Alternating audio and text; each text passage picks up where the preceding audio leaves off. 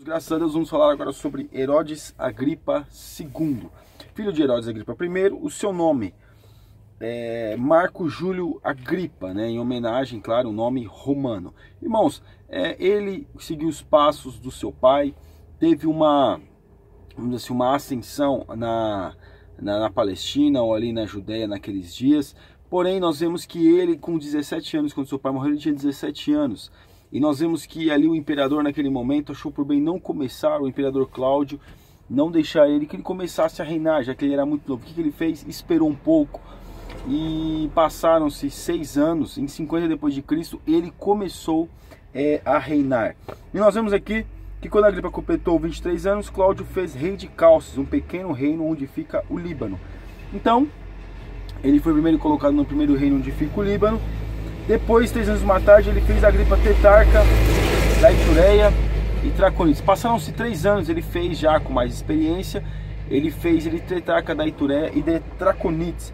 Agripa, como seu pai, era um judeu popular entre os judeus, ou seja, ele era um homem hábil na lei, aprendeu acerca da lei e conhecia acerca das leis. Porém, assim como os membros da família herodiana, é, o fazia mais por motivos políticos do que por uma questão de fé, ou seja, eles aprendiam mais a questão da, do judaísmo pra, por questões políticas do que propriamente para melhorar a sua fé, já que ele, meus irmãos, tinha um caso com a sua irmã Berenice, que já teve casos também com, seu, com meios irmãos dela, mas agora ela tinha um caso com Agripa II, o seu irmão.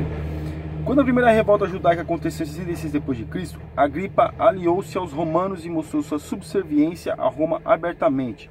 Ele foi recompensado com um acréscimo de mais territórios ao seu domínio e continuou a governar até a morte até a morte, ou seja, depois que é, teve a revolta dos judeus ali para poder ficar independente dos romanos, ele acabou ajudando os romanos é, na, nessa questão aí para não que, pra que derrotar né, os, os revoltados, vamos dizer assim. Porém, ele acabou até conquistando mais ainda a confiança dos romanos.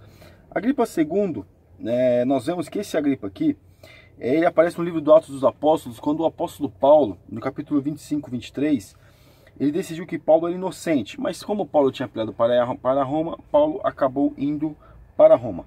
Agripa não teve outra opção entre mantê-lo na prisão até que pudesse ser enviado para Roma. Então esse aqui foi um pequeno comentário acerca de Agripa II, que seguiu os caminhos do seu pai, aprendeu, teve uma, uma educação em Roma, e ele, meus irmãos, foi muito útil para os romanos para governar ali, principalmente as Traconites, a Itureia, Traconites, e também nós vemos que até acabaram anexando já que a sua, a sua devoção a Roma era muito grande. Amém, irmãos?